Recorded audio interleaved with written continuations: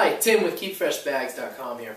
I want to talk to you about oxy absorbers. There's three types of oxy absorbers that we have at KeepFreshBags.com. The first one is a 100cc, the second one is a 300cc, and the third one is a 2000cc. Now what we use oxy absorbers for is uh, for long-term long food storage in Mylar bags. So for this Mylar bag, this is a 10 by 16. Uh, this is a bag size that might fit in like a one or two gallon bucket or a number 10 can. So for a 10 by 16, you're going to want to use uh, either three 100cc oxy absorbers or one 300cc oxy absorber. So what you do is you, uh, you take the bag, you open it up. Um, I got some food here in this one that I've already made.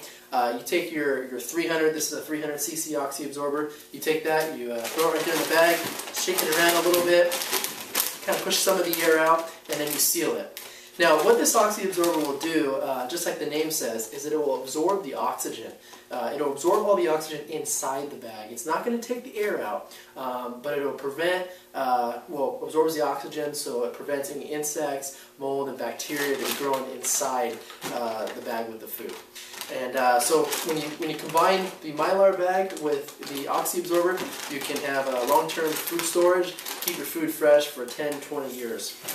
Um, the other is the, uh, the third Oxy absorber is the 2000 cc. Now the 2000 cc you're going to want to use for the 20 by 30 bags.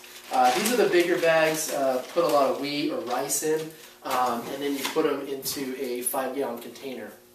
So again, one 2000 uh, cc oxy absorber for a 20 by 30 mylar bag, and then one 300 cc oxy absorber for a 10 by 16 bag, or three 100 cc oxy absorbers for a 10 by 16 bag. And you can find both the 100 cc, the 300 cc, and the 2000 cc oxy absorbers at keepfreshbags.com. Thank you.